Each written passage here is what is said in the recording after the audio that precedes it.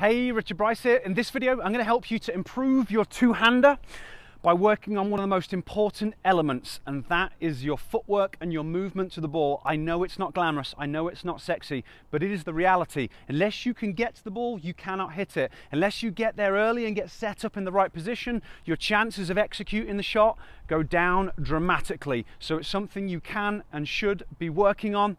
And in this video, I'm going to show you some simple ways to do that. So I hope you enjoy it. I hope you find it helpful. If you do, it'd be awesome if you give me a thumbs up. And if you haven't already done so, uh, make sure you subscribe to my channel. Okay, the footwork is going to be really important. You've got to get to the ball. You've got to get set up in the right position. So we're going to look at that and we're going to work on a few different components we're not going to focus too much on the split step because I've talked about that a lot. Hopefully you know that you're going to be landing wide, you're going to be landing low, you're going to be on the balls of your feet, you're going to be towards the inside of your feet, and hopefully you know that you're going to be landing just after your opponent makes contact. I'll place the link down below that breaks this down in more detail, but they're the nuts and bolts of it. What we're going to focus on is the movement to the ball and then the contact footwork because We've also got recovery steps, but we're not going to worry about that in this video. We're just going to worry about all the stuff that gets us into the right position. So we've done our split step. Hopefully you already know about the unit turn. I'll place a link down in the description for that if you're not too familiar with working on your unit turn because you'll need to understand what this is about. But as you turn your upper body, your unit, you're going to be doing something with this leg. So as a right-hander, I'm going to be doing something with my left leg. It's going to be pivoting. So this is a really important part of the footwork that as you start to rotate your upper body, you'll pivot with this leg. Now we've basically got three options of what can happen here. I can pivot and it can stay where it is. I can pivot and step out, or I can pivot and the foot can come back underneath me. So we're going to be using them at different times. If the ball is going to be right in front of me, I will just pivot where I am and I will step in and I will hit with a neutral stance.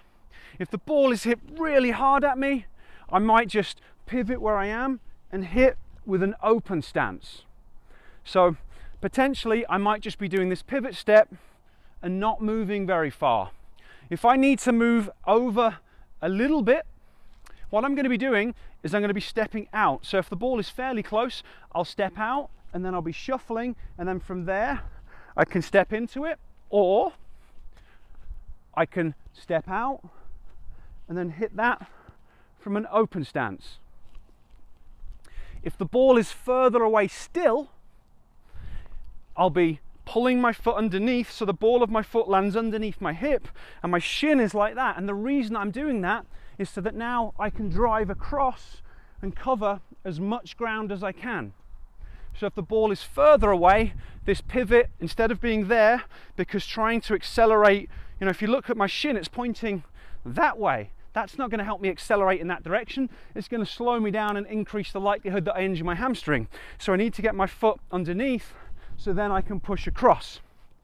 Now, what can be deceiving when you watch the pros play, they're going to be driving off this leg at the same time. So as I drive off that leg, it might give the illusion that I'm stepping out, but I'm actually pulling my foot underneath my hip and driving back like that. But you want to practice it so you can step across. So we've got the split step and then we've got that first pivot step that goes along with the unit turn, either staying where it is if it's close, stepping out if we've got a small amount of distance to cover, or stepping back, or a drop step if we've got more distance to cover. You've just got to practice it over and over again. The next thing that we're going to be looking at is the movement to the ball, and I've kind of just covered it there. So the way I try and get people to think about this is we've got court coverage steps and we've got adjustment steps. And the reason I call them that is because if the ball's a long way away, you've got to cover as much ground as you can, as quickly as you can. And a court coverage steps, a court coverage step is basically a crossover step.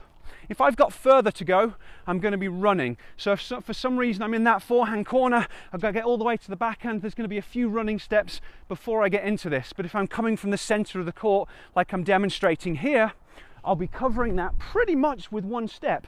You know, if I go right into the center of the court, I do this, I'm basically loading up on that outside leg and I'm almost ready to hit, you know, a ball that's at the, the sideline of the court.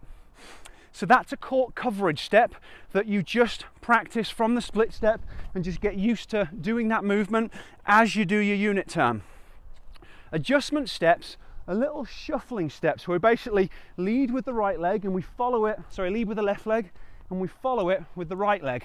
And that's exactly what I did when I stepped out. So for that ball that's a little bit close, I stepped out and then I just followed it and it's that little shuffling motion. So if I'm going from here, the ball, it's not right in front of me, so I'm gonna, and now I can hit at that in-between distance. So that's an adjustment step. But sometimes we might need to use those adjustment steps when we're wider. So potentially I have to add it on. So I do that crossover step. I'm not quite far enough. And I just do a little adjustment step to make sure I'm in the right position. So your footwork along a kind of a sideward uh, when you're, you're traveling along the baseline is made up of these little components of doing the crossover step and the adjustment steps. You know, sometimes I might do a couple more adjustment steps, but generally you're going to be able to get this done with one adjustment step. So then we've already mentioned briefly that contact footwork or the swing step as I like to call it because it's what you're going to do with your feet as you swing the racket you know, it's really important for staying balanced, but we've got three main options for the two-handed backhand. We've got a neutral stance where you're going to step in. So we'll have pivot, we'll have stepped forwards on that front leg. From there, and generally, as you do that, there's one or two things. Just this back foot is going to rotate up, but quite often you'll do that and this back foot will pivot round. So that'll allow you to maintain balance.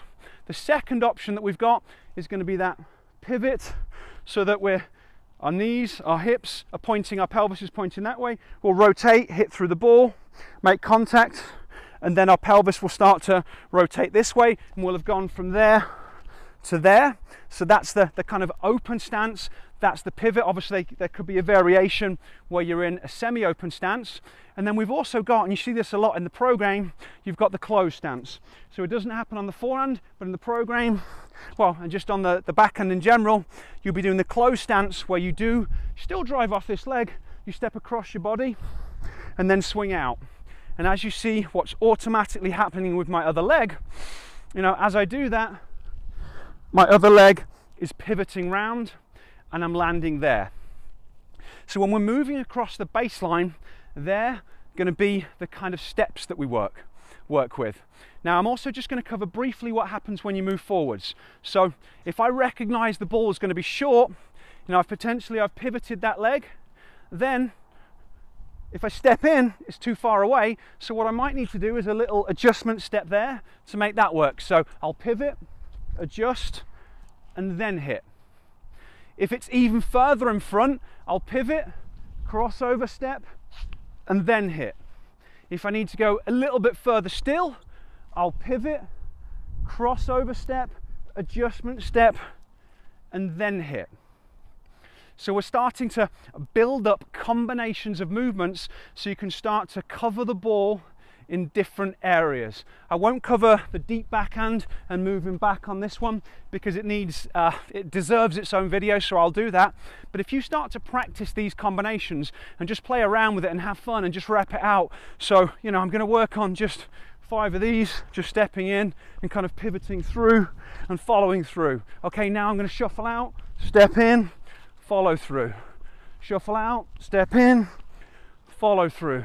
This time I'm going to shuffle out, hit from a pivot and come back. Shuffle out, hit from that pivot and come back. Then I'm going to work on, okay, I'm going to do that crossover step and now I'm going to pivot.